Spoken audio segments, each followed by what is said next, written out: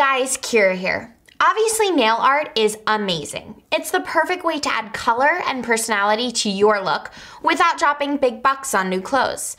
And while some nail art styles are, let's just say, difficult, some are super simple. Remember, a simple design done well is going to look better than a crazy hard design that just turns into a hot mess. Hey, we get bonus points for trying, right? So, let's do one of the simple yet chic designs I love. Let's color block our nails. So the first thing we're gonna do to make the stripes super easy is use scotch tape. And then it's super easy, so just make sure it covers the nail halfway. Now you just wanna make sure that the tape is perfectly on there so there's no, there's gonna be no potential error when we take it off. So now I'm gonna grab the color that I want on the top of my nail. So you don't want too much because we're gonna do two coats of this. But I'm just gonna put the blue on the tip of the nail.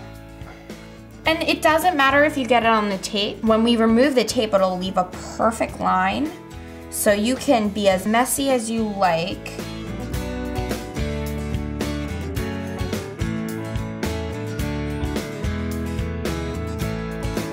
So now we're almost done with the top blue.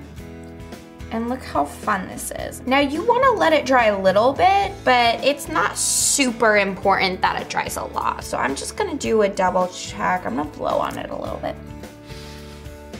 Let it dry. So we're just gonna take off the tape. This one broke a little bit, but you can tell it's perfectly straight.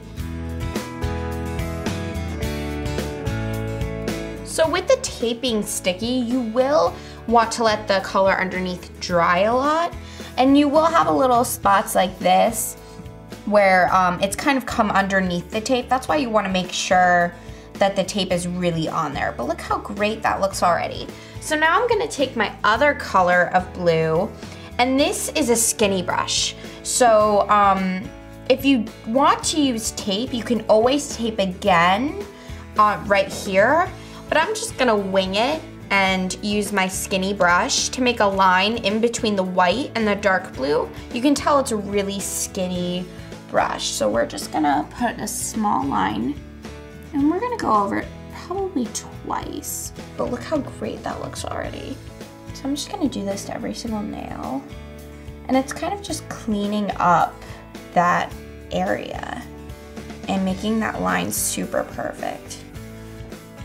And you can choose, like, I'm gonna even show you guys, you can totally do a larger line and do like a big line in between and change it up. Like, look how fun that is. I totally, like, I can do every single one a different size line, but they're all kind of following the same pattern, which makes the color blocking so much fun.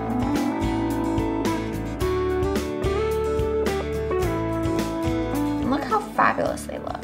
So now I'm gonna put my top coat on. I wanna get a generous amount on there just to make sure it covers the entire nail.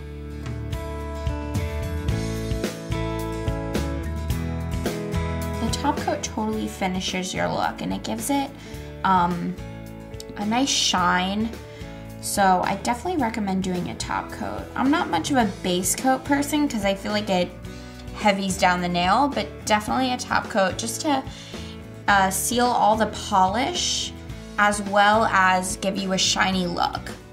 And another thing that I like to do is every other day after I've painted my nails, I put on another layer of top coat um, because you never know when it's gonna chip. And voila, color block nails like a pro. Be sure to check out more style videos right here. Comment and tell me what you guys want to see next. Subscribe and see you next time. Bye guys.